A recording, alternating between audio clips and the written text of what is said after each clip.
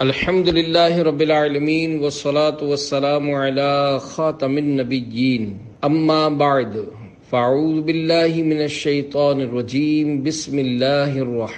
रहीम इल्म की बरकतें दुआयतार या जो कोई 21 सफ़हात का रिसाला इल्म की बरकतें पढ़ या सुन ले उसे अपनी रिजा के लिए इल्म दीन सीखने और इसे फैलाने की तौफीक अता फरमा और उसे बेहिसाब बख्श दे। आमीन बिजाही खातमिन नबीजीन सल्लल्लाहु अलैहि वसल्लम। दुरूद शरीफ की फजीलत। हज़रत शेख अबुल अब्बास तिजानी अलैह ने एक तालिब इल्म को खत भेजा और उसमें बिस्मिल्लाह और सलात सलाम के बाद लिखा कि अल्लाह पाक का सबसे बढ़कर मुफीद ज़िक्र रसूलुल्लाह सल्लल्लाहु अलैहि वसल्लम पर दिल को हाजिर करके दुरूद भेजना है, बिलाशुबा। ये दुनियावी और उखरवी तमाम मकासद के हसूल का जामिन और तमाम मुश्किल का हल है और जो शख्स इस पर अमल करेगा, वही अल्लाह पाक का सबसे बढ़कर बरगुजीदा होगा। दस्त बस्ता सब फरिश्ते पढ़ते हैं उन पर दुरूद। क्यों ना हो फिर विरद अपना असला तो वसलाम मोमिनो पढ़ते नहीं क्यों अपने आका पर दुरूद। है फरिश्तों का वजीफा असला तो वसलाम हबीब सल्लल्लाहु अला मुहम्मद। समझदार माँ। करोड़ों मालिकियों के इमाम। आशिक मदीना, इमाम मालिक बिन अनस और अजीम ताबई बुज़ुर्ग हज़रत हसन बसरी रहमतुल्लाहि अलैहिमा जैसी जलील कद्र हस्तियों के उस्ताज मोहतरम हज़रत रबिया बिन अबू अब्दुलरहमान रहमतुल्लाहि अलैह अभी अपनी अम्मी जान के पेट में ही थे कि उनके वालिद मोहतरम हज़रत अबू अब्दुलरहमान फर्रुख रहमतुल्लाहि बनु उमैया के दौरे खिदमत में सरहदों की हिफाजत के लिए जिहाद की गरज से खुरासान चले गए। चलते वक्त आप अपनी जौजा के पास तीस हज़ार दीनार छोड़ कर गए। सत्ताईस साल के बाद आप वापस मदीने मुनवर आए। तो आपके हाथ में नेजा था और आप घोड़े पर सवार थे। घर पहुंचकर घोड़े से उतरे और नेजे से दरवाज़ा अंदर धकेला। तो हज़रत रबिया रहमत फ़ौरन बाहर निकले। जैसे ही उन्होंने एक मुसल्ह शख्स को देखा तो बड़े गजबनाक अंदाज में बोले, ए अल्लाह के बंदे, क्या तू मेरे घर पर हमला करना चाहता है?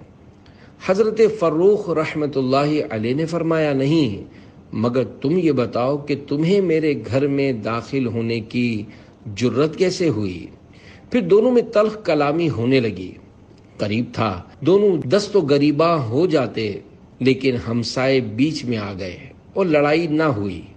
जब इमाम मालिक रहमतुल्लाह आले और दूसरे बुज़ुर्ग हजरात को खबर हुई तो वो फ़ौरन चले आए। लोग उन्हें देखकर खामोश हो गए।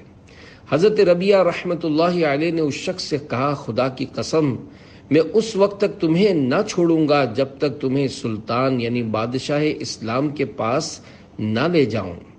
हज़रत फरूख रहमत ने कहा, खुदा की कसम, मैं भी तुझे सुल्तान के पास लिए बगैर ना छोड़ूँगा। एक तो तुम मेरे घर में बिला इजाज़त दाखिल हुए, फिर मुझी से झगड़ रहे हो। इमाम मालिक रहमत हज़रत अबू अब्दुलरहमान फर्रुख रहमत को निहायत नरमी से समझाने लगे कि, बड़े मियाँ, अगर आपको ठहरना ही मकसूद है तो किसी और मकान में ठहर जाइए। आपने फरमाया, मेरा नाम फर्रुख है और ये मेरा ही घर है। ये सुनकर आपकी जौजा मोहतरमा, जो दरवाजे के पीछे सारी गुफ्तगु सुन रही थी, फरमाने लगी, ये मेरे शोहर हैं और रबिया इन्हीं के बेटे हैं। ये सुनकर दोनों बाप बेटे गले मिले और उनकी आँखों से खुशी के आँसू छलक पड़े। हज़रत फर्रुख रहमत खुशी खुशी घर में दाखिल हुए। जब इतमान से बैठ गए तो कुछ देर बाद उनको वो तीस हज़ार अशरफियाँ याद आई, जो रवानगी के वक्त बीवी को सौंप गए थे। चुनाचे बीवी से पूछा कि मेरी अमानत कहाँ है? समझदार बीवी ने अर्ज़ की, मैंने उन्हें संभाल छोड़ा है।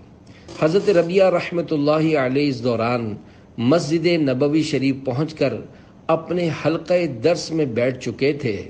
और शागिर्दों का एक हजूम, जिसमें इमाम मालिक और ख्वाजा हसन बसरी रहमतुल्लाहि अलैहिमा जैसे लोग शामिल थे, शेख को घेरे हुए था।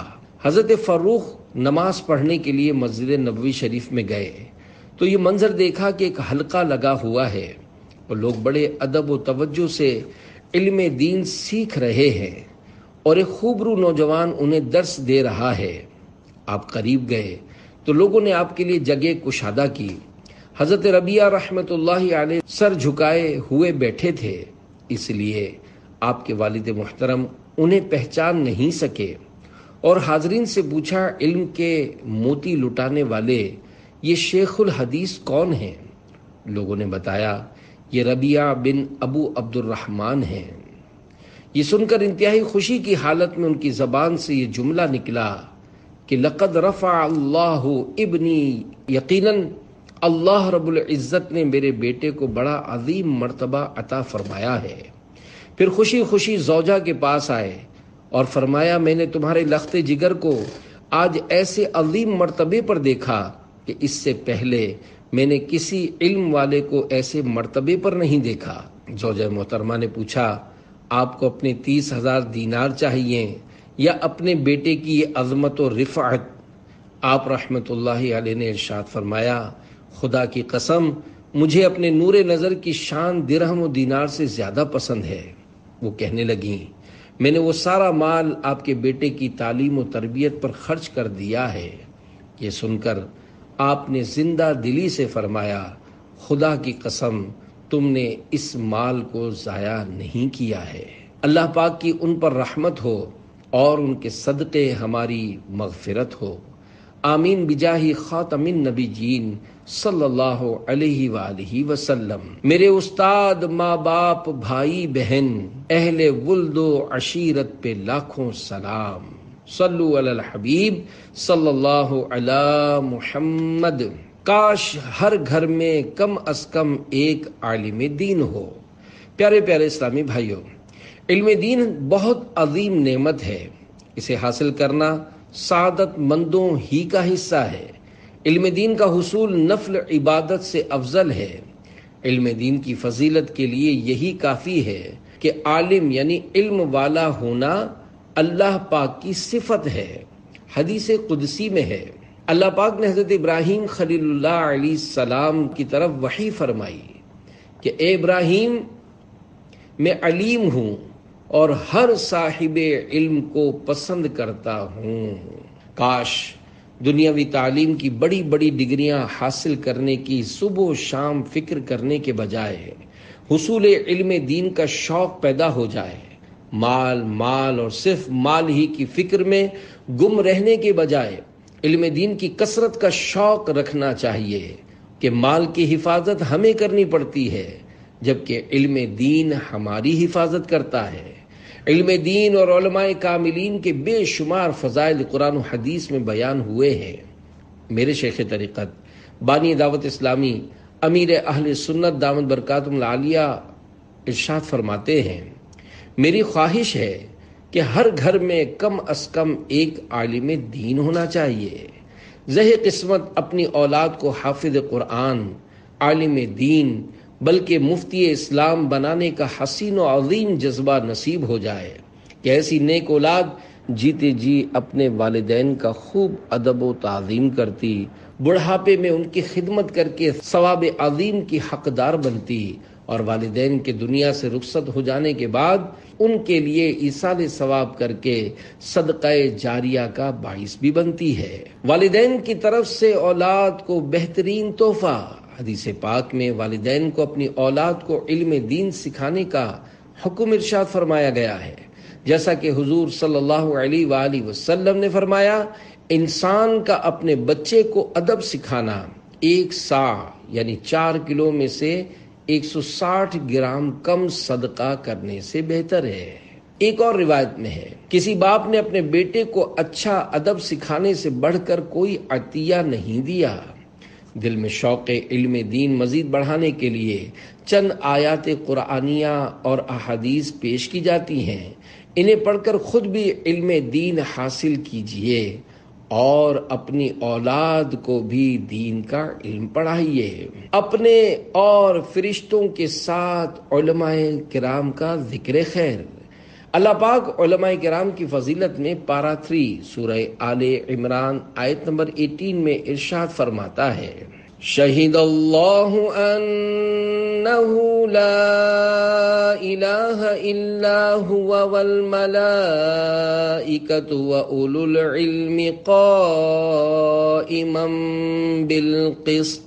तर्जमा कंजुल ईमान।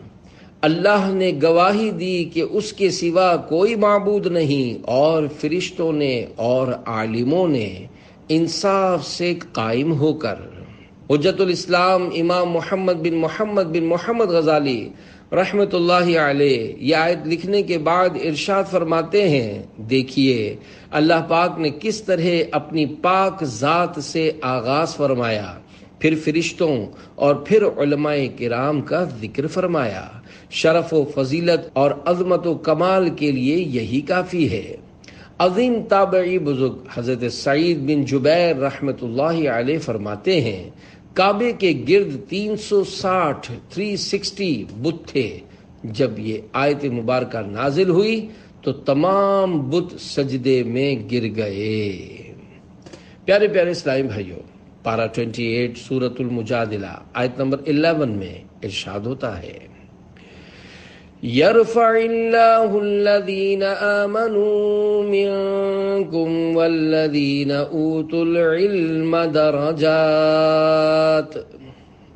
तर्जमा कंजुल ईमान अल्लाह तुम्हारे ईमान वालों के और उनके जिनको इल्म दिया गया दर्जे बुलंद फरमाएगा उलमाए किराम की आम लोगों पर फजीलत हजरत अब्दुल्ला बिन अब्बास रदी अल्लाह अनहुमा ने फरमाया उलमाए किराम आम मोमिनीन से 700 सात सौ दर्जे बुलंद होंगे।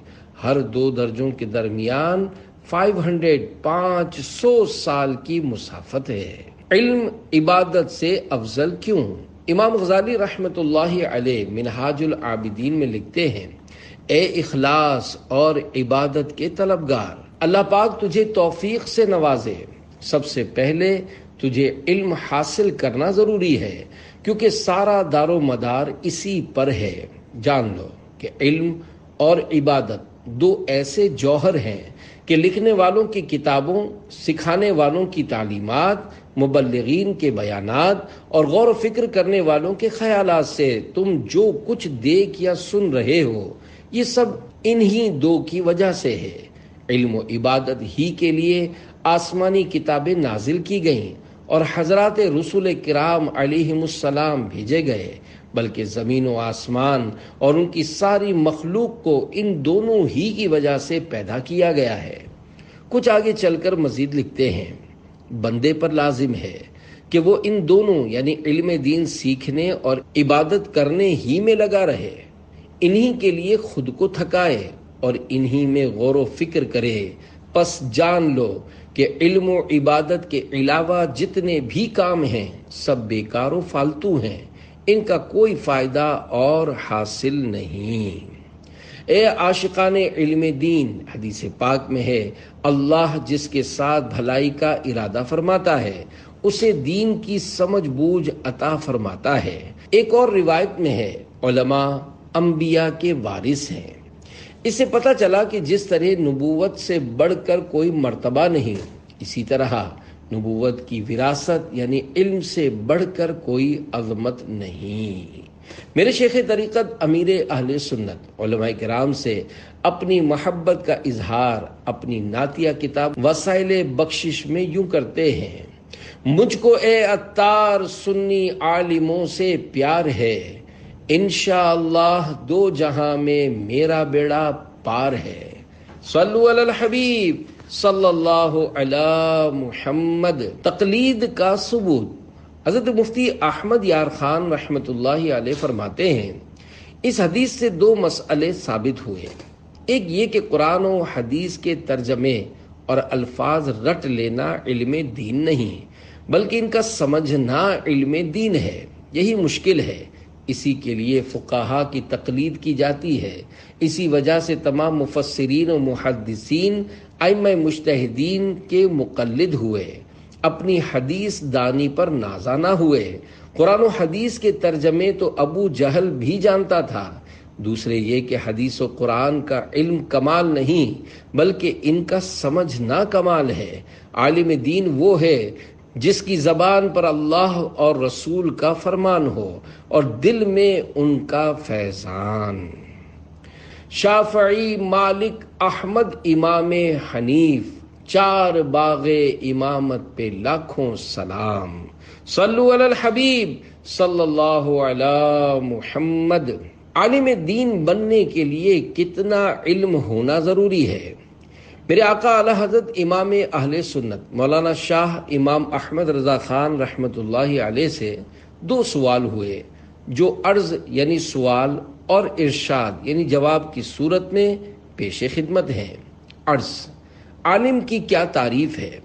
इरशाद, आलिम की तारीफ़ यह है कि अकायद से पूरे तौर पर आगाह हो और मुस्तकिल हो। और अपनी ज़रूरियात को किताब से निकाल सके, बगैर किसी की मदद के। अर्ज़, कुतुब बीनी, यानी किताबें पढ़ने ही से इल्म होता है, इरशाद। यही नहीं, बल्कि इल्म अफवाह रिजाल, यानी इल्म वालों से गुफ्तगु से भी हासिल होता है। मदनी बहार प्यारे प्यारे इस्लामी भाइयों इल्म दीन हासिल करने का एक बेहतरीन ज़रिया अमीर अहल सुन्नत के इल्म हिकमत से भरपूर सवाल जवाब के मकबूल आम सिलसिले, मदनी मुजाकरे और बयाना सुनना भी है। एक मदनी बाहर सुनिए और शौक इल्म दीन पैदा कीजिए। मुरादाबाद हिंद के एक इस्लामी भाई ने ख्वाब में खूबसूरत बाग देखा, जिसमें सुन्नत के मुताबिक सफ़ेद लिबास पहने नूर बरसाते नूरानी चेहरे वाले बुज़ुर्ग सर पर इमामा शरीफ सजाए नमाज़ पढ़ रहे हैं। मैं इंतज़ार करने लगा कि ये नमाज़ मुकम्मल करें तो मैं इनसे हाथ मिलाकर पूछूँ कि ये कौन है। लेकिन जैसे ही उन्होंने सलाम फेरा, मेरी आँख खुल गई। उठने के बाद दिल में एक अजीब सी राहत और खुशी महसूस हो रही थी। मगर बार बार ये ख्याल भी आ रहा था कि बुज़ुर्ग कौन हो सकते हैं। उन बुज़ुर्ग की जियारत की बरकत से मेरा दिल दुनियावी झमेलों से बेजार होकर नेक माहौल की तरफ़ माइल होने लगा। मुझे इल्म दीन सीखने का शौक हुआ। इसी शौक में एक दिन आशिकान रसूल की दीनी तहरीक दाऊद इस्लामी के हफ्तावार सुन्नत भरे इज्तम में हाजिर हुआ। आखिर में रिक्कत अंगेज दुआ के दौरान शुरा की आहोजारी ने मेरे दिल की दुनिया बदल कर रख दी। इजतमा के आखिर में एक मुबलग ने अमीर अहल सुन्नत के सुन्नत भरे दो बयानात बनाम कब्र का इम्तिहान और बाहया परिंदा सुनने के लिए दिए। मैंने जब उन्हें सुना तो कब्र हशर के होलनाक मनाजिर मेरी निगाहों में घूमने लगे। मैंने घबरा कर तोबा की और रफ्ता रफ्ता दीनी माहौल के करीब से करीब तर होता गया। उन्हीं दिनों कानपुर हिंद में दावत इस्लामी का सुन्नत भरा इज्तिमा हुआ, जिसमें अमीर अहल सुन्नत दावत बरकातुल आलिया भी तशरीफ़ लाए। जैसे ही मैंने अमीर अहल सुन्नत की जियारत की तो मेरी हैरत की इंतहा न रही। कि ये वही हस्ती थी जिनकी ख्वाब में मुझे जियारत हुई थी। अल्लाह पाक की अमीर अहल सुन्नत पर रहमत हो और उनके सदक़े हमारी बेहिसाब मफफरत हो। कितने बनाए आलिम हाफिज, कितनों को है तुमने संवारा। पीर मेरा पीर मेरा पीर मेरा। सल्लु अल हबीब सल्लल्लाहु अला मुहम्मद। आलिम और गैर आलिम बराबर नहीं हो सकते। प्यारे प्यारे इस्लामी भाइयों, जैसे गूँगा और बोलने वाला, अंधा और आँख वाला बराबर नहीं हो सकते, ऐसे ही आलिम दीन और जाहिल बराबर नहीं हो सकते। अल्लाह पाक कुरान करीम की सूरत जुमर पारा ट्वेंटी थ्री, आयत नंबर नाइन में इर्शाद फरमाता है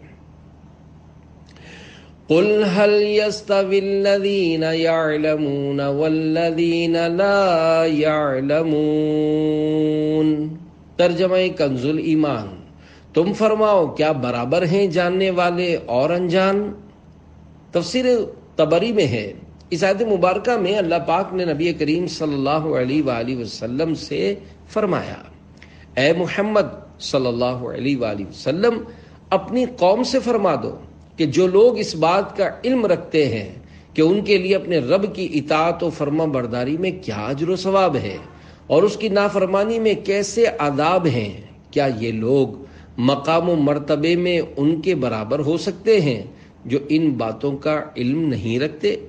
बस वो बेइल्म लोग बिना सोचे समझे काम करते हैं। इन्हें नेक आमाल के सवाब का पता होता है न ही बुरे कामों के आदाब का खौफ।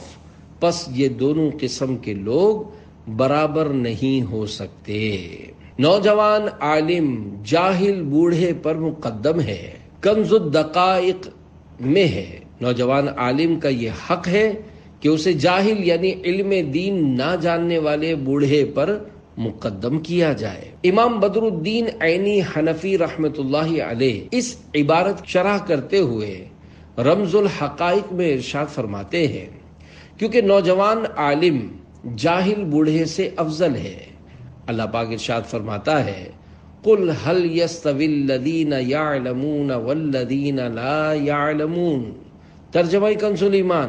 तुम फरमाओ क्या बराबर हैं जानने वाले और अनजान? और इसीलिए नमाज़ में इस नौजवान आलिम को जाहिल बूढ़े पर मुकदम किया जाता है। हालाँकि नमाज़ अरकान इस्लाम में से एक रुकन और ईमान के बाद सबसे पहला फ़र्ज़ है। और शरीयत में जिस यानी किराम की इतात की जाए, वो मुकदम है। और उन्हें कैसे न मुकदम किया जाए कि हक अम्बिया कराम अलीम के वारिस हैं, जैसा कि हदीस पाक में आया है। इल्म दीन की शान, फरमाने आखिरी नबी सल्लल्लाहु अलैहि वसल्लम बेशक हिकमत जी मर्तबा के मर्तबे को बढ़ाती और गुलाम को इतनी बुलंदी अता करती है कि वो बादशाहों के मकाम को पा लेता है। इस हदीस पाक में इल्म के दुनियावी फवायद बयान किए गए हैं और ये बात यकीनी है कि आखिरत बहुत बेहतर और बाकी रहने वाली है।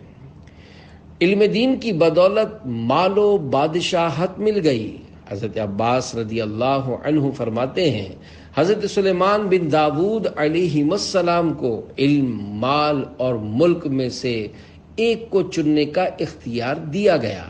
तो आप अली सलाम ने इल्म को इख्तियार फरमाया तो इन्हें इल्म की बरकत से माल और मुल्क दोनों दे दिए गए। ए आशिकान रसूल, सिर्फ़ अल्लाह पाक की रजा के लिए इल्म दीन हासिल कीजिए। और दुनिया और आखरत में इसकी बरकत लूटी है। कि हदीस पाक में है, ज़मीन व आसमान की तमाम मखलूक आलिम के लिए इस्तफार करती है। लिहाजा उससे बड़ा मर्तबा किसका होगा? जिसके लिए ज़मीन व आसमान के फरिश्ते मगफरत की दुआ करते हों। ये अपनी ज़ात में मशगूल है और फरिश्ते इसके लिए इस्तफार में मशगूल हैं। आलिम दीन के सात हरूफ की नस्बत से कराम के फ़जाइल पर सात फरामीन मुस्तफ़ा सल्लल्लाहु अलैहि वसल्लम। नंबर वन अल्लाह पाक क़यामत के दिन इबादत गुजारों को उठाएगा, फिर उलमा को उठाएगा और उनसे फरमाएगा, ए उलमा के गिरोह, मैं तुम्हें जानता हूँ। इसीलिए तुम्हें अपनी तरफ़ से इल्म अता किया था और तुम्हें इसलिए इल्म नहीं दिया था कि मैं तुम्हें अदाब में मुबतला करूँगा। जाओ मैंने तुम्हें बख्श दिया। नंबर टू मोमिन आलिम, मोमिन आबिद पर सेवेंटी, सत्तर दर्जे ज़्यादा फजीलत रखता है। नंबर थ्री आलिम और आबिद के दरमियान वन हंड्रेड सौ दर्जे हैं और हर दो दर्जों के दरमियान इतना फासला है, जितनी मुसाफत सधाया हुआ उम्दा घोड़ा सेवेंटी, सत्तर साल तक दौड़कर तय करता है। नंबर फोर आलिम की फजीलत आबिद पर ऐसी है जैसे चौदहवीं के चाँद की तमाम सितारों पर। नंबर फाइव आलिम की फजीलत आबिद पर ऐसी है जैसे मेरी फजीलत तुम्हारे अदना पर। यह हदीस पाक लिखने के बाद इमाम गजाली रहमत फरमाते हैं, गौर कीजिए, हुजूर जान रहमत सल्लल्लाहु अलैहि वसल्लम ने किस तरह इल्म को दर्जाए नबूवत के साथ मिला दिया और कैसे इल्म से खाली अमल के मर्तबे को घटा दिया। अगरचे आबिद जिस इबादत पर मुवाजबत यानी पाबंदी इख्तियार किए होता है, वो इल्म से खाली नहीं होती, वरना वो इबादत ही नहीं जो इल्म से खाली हो। हज़रत मुफ्ती अहमद यार खान रहमत इस हदीस पाक की शराह में फरमाते हैं ये तशबी बयान नौीयत के लिए, न के बयान मकदार के लिए। यानी जिस किस्म की बुजुर्गी मुझको तमाम मुसलमानों पर हासिल है, इस किस्म की बुजुर्गी आलिम को आबिद पर, यानी दीनी बुजुर्गी न के महज दुनिया भी अगरचे इन दोनों बुजुर्गियों में करोड़ हा फ़र्क है। बादशाह को रियाया पर सल्तनत की, मालदार को फकीर पर माल की जत्थे वाले यानी ताकत वाले को बेकस यानी कमज़ोर पर कुत की। हसीन को बद शक्ल पर जमाल की बुजुर्गी हासिल है। मगर ये बुजुर्गियाँ दुनियावी और फानी हैं। नबी को मखलूक पर दीनी बुजुर्गी हासिल है, जो अबदुल आबाद यानी हमेशा हमेशा तक कायम है। ऐसे ही आलिम को जाहिल पर आज सिकंदर को किसी फकीर पर मुल्की बुजुर्गी नहीं, मगर इमाम अबू हनीफा को तमाम मुकलदीन पर बेपना अजमत अब भी हासिल है। ख्याल रहे, हुजूर अनवर सल्लल्लाहु अलैहि वसल्लम को नबियों पर और दर्जे की बुजुर्गी है। साहबा पर और दर्जे की, औलिया व उलमा पर और दर्जे की, अवाम पर और दर्जे की अदना कुम में इस आखिरी दर्जे की तरफ़ इशारा है।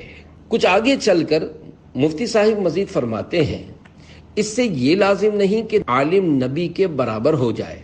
ख्याल रहे कि इल्म दीन या फ़र्ज़ आइन है या फ़र्ज़ किफ़ाया, और ज़्यादा इबादत नफल है। नीज आलिम का नफ़ा मखलूक को है, और आबिद का नफ़ा सिर्फ़ अपने को। लिहाजा आलिम आबिद से अफजल है। आदम सलाम आलिम थे, फरिश्ते लाखों साल के आबिद, मगर सजदा आबिदों ने आलिम को किया। नंबर सिक्स, क़यामत के दिन उलमा की स्याही शहीदों के खून से तोली जाएगी तो उनकी स्याही गालिब आ जाएगी। नंबर सेवन, क़यामत के दिन तीन किस्म के लोग शफात करेंगे अम्बिया और शुहदा। हज़रत शेख अब्दुल हक मुहदस देलवी बुखारी रहमत इस हदीस की शरह में फरमाते हैं, इन तीन गिरोह के साथ शफात को ख़ास करना इनकी बहुत ज़्यादा फजल बुजुर्गी के सबब है, वरना मुसलमानों में से हर नेक शख्स मसलन सच्चा हाजी बामल हाफिज के लिए भी शफात का हक साबित है। इमाम गजाली रहमत फरमाते हैं, मालूम हुआ कि ज़्यादा अजमत वाला मर्तबा वो है जिसका ज़िक्र मरतबा नबूवत के साथ मिला हुआ है और ये मरतबा शहादत से बढ़कर है, अगरचे शहादत की फजीलत में भी कसीर अहादीस मरवी हैं। आलिम दीन की महफिल की बरकत से गाने वाली की तौबा, बसरा में एक इंतहाई हसीन और जमील औरत रहा करती थी। लोग उसे शावाना के नाम से जानते थे। जाहिरी हुसन जमाल के साथ साथ उसकी आवाज़ भी बहुत खूबसूरत थी। अपनी खूबसूरत आवाज़ की वजह से वो गायकी और नोहागिरी में मशहूर थी। बसरा शहर में खुशी और गमी की कोई मजलिस उसके बगैर अधूरी तस्वुर की जाती थी। यही वजह थी कि उसके पास बहुत सा माल और दौलत जमा हो गया था। बसरा शहर में फिस्क फजूर के हवाले से उसकी मिसाल दी जाती थी। उसका रहन सहन अमीराना था। वो कीमती लिबास पहनती और महँगे महँगे जेवरात से बनी संवरी रहती थी। एक दिन वो अपनी रूमी और तुर्की खादिमाओं के साथ कहीं जा रही थी। रास्ते में उसका गुजर हज़रत सालेह मुर्री रहमत के घर के करीब से हुआ। आप अल्लाह के नेक बंदे बामल आलिम दीन और आबिद जाहिद लोगों में से थे। आप अपने घर में लोगों को बयान इरशाद फरमाया करते थे, जिसकी तासीर से लोगों पर रिक्कत तारी हो जाती और वो बड़ी ज़ोर ज़ोर से रोना शुरू कर देते। और अल्लाह पाक के खौफ से उनकी आँखों से आंसुओं की झड़ियाँ लग जाती। जब शावाना नामी औरत वहाँ से गुजरने लगी तो उसने घर से रोने की आवाज़ें सुनी। उसे बहुत गुस्सा आया। वो अपनी खादिमाओं से कहने लगी ताजुब की बात है कि यहाँ नोहा किया जा रहा है और मुझे इसकी खबर तक